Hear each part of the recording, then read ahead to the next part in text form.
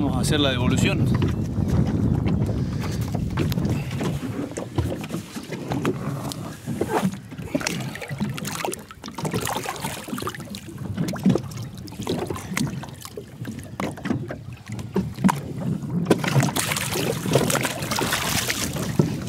Muy bueno.